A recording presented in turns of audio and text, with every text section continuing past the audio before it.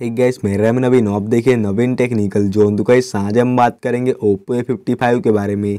Gas आज का हमारा टॉपिक है home screen layout icon how to change तो गैस कैसे अपने फ़ोन में देखिए, आप होम स्क्रीन लेआउट आइकन को चेंज कर पाएँगे तो इस वीडियो में हम सब जानेंगे। तो गैस वीडियो को आखिरी देखिए एंड समझिए।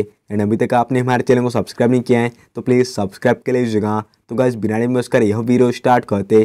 तो आप अपने फ़ोन में देखिए सिंपली करेगा। डिफ़ॉल्ट सेटिंग्स ओपन कर लीजिएगा। एंड यहाँ पे आपको सेटिंग्स में देखिए, कुछ इस प्रकार का इंटरफेस शो करता है। तो यहाँ पे आप नीचे आके देखिए home screen and lock screen option पे। एंड यहाँ पे आपको नीचे में देखिए home screen layout icon show हो जाता है। तो आप क्लिक कर लीजिएगा। तो देखिए, अभी हमारे पास में होम स्क्रीन लेआउट आइकन चल रहा है फोर इंटू सिक्स अगर आप इसे चेंज करना चाहते तो यहाँ पर काफ़ी सारे ऑप्शन दिए आते जैसे कि five into six four into six three into six two into six यहाँ से देखिए, आप ऑप्शन सिलेक्ट करके देखिए होम स्क्रीन लेआउट आइकन को चेंज कर पाते। तो गैस ये आज का हमारा टॉपिक उम्मीद है गैस आपको वीडियो पसंद होगी।